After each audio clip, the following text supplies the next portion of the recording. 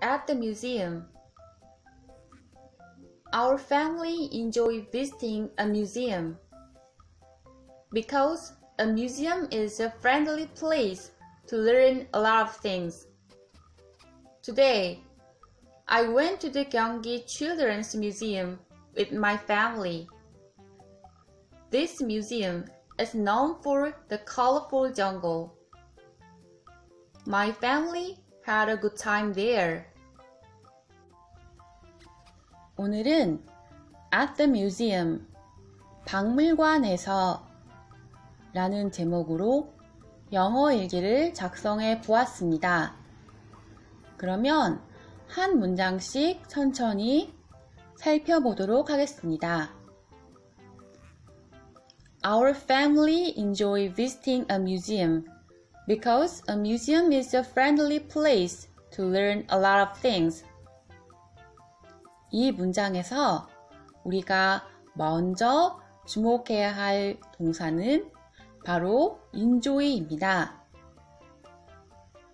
enjoy는 동명사를 목적으로 갖는 동사이기 때문에 반드시 뒤에 ing 형태가 따라오게 됩니다. 즉, enjoy 플러스 ing 형태의 구문을 쓰면 무엇 무엇을 즐기다 라는 표현이 됩니다.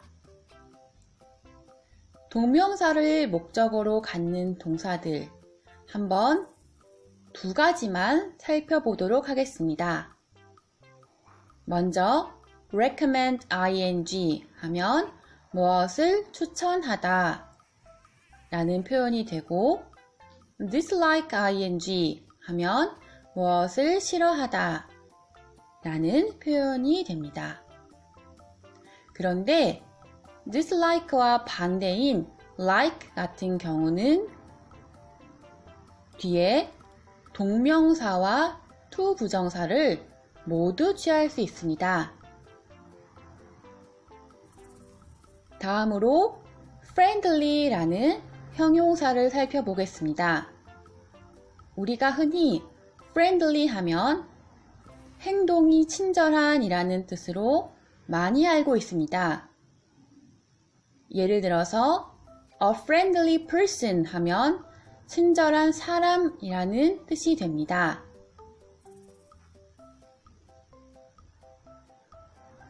그런데 friendly에는 행동이 친절한 이라는 뜻만 있는 게 아니고 분위기 등이 다정한 또는 친숙한 이라는 뜻도 포함이 되어 있기 때문에 place라는 장소도 수식해 줄 수 있습니다.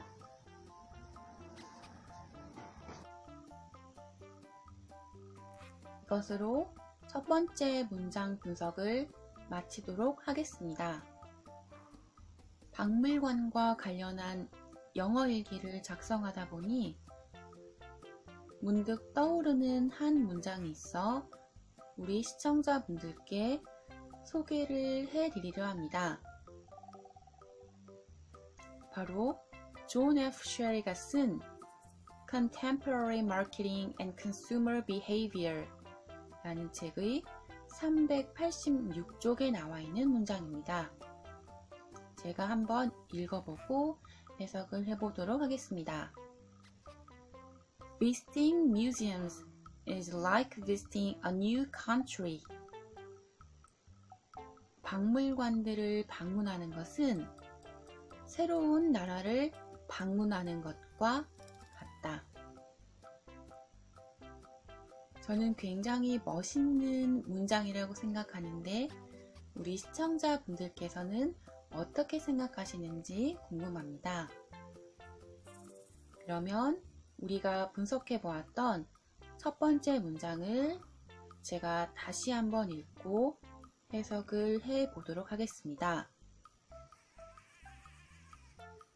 Our family enjoy visiting a museum because a museum is a friendly place to learn a lot of things. 우리 가족은 박물관에 방문하는 것을 즐긴다. 왜냐하면 박물관은 많은 것들을 배우기에 친숙한 장소이기 때문이다.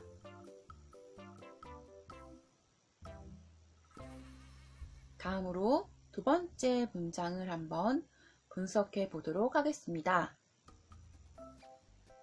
Today, I went to the Gyeonggi Children's Museum with my family. 오늘 나는 가족들과 함께 경기도 어린이 박물관에 갔다.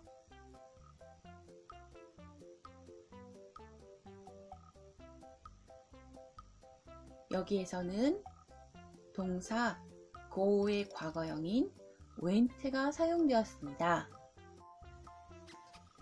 다음 문장 살펴보겠습니다. This museum is known for the colorful jungle. 이 박물관은 colorful jungle로 유명하다 라는 뜻입니다.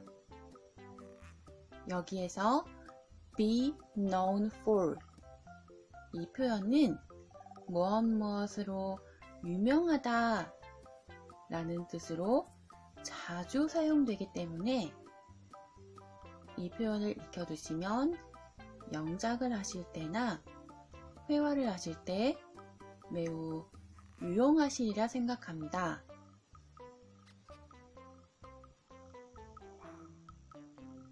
마지막 문장은 My family had a good time there. 우리 가족은 그곳에서 좋은 시간을 보냈다 라는 뜻입니다. 오늘 제가 준비한 영상은 여기까지이고요. 내일 또 유익한 영어 일기로 찾아뵙도록 하겠습니다.